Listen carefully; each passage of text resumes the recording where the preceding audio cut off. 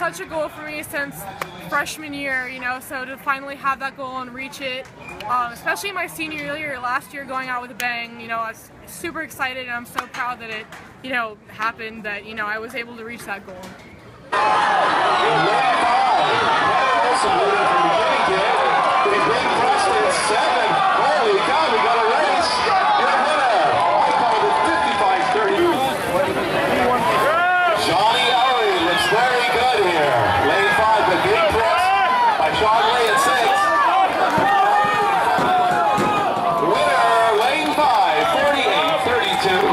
Felt pretty good. I set a new personal best and a new league record, so I'm really happy with it. Four. Is Wong. But your winner, wow, so close.